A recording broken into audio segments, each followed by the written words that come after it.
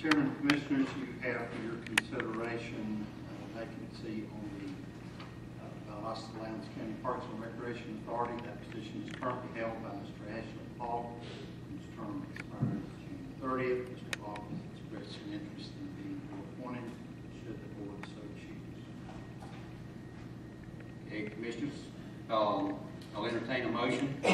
Mr. Chairman, Page, make a motion that we reappoint Mr. Ashley Paulk to this board.